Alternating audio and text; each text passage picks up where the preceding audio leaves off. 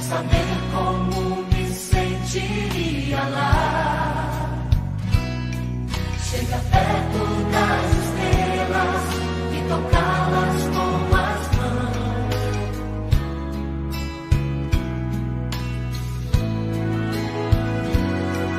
Gostaria de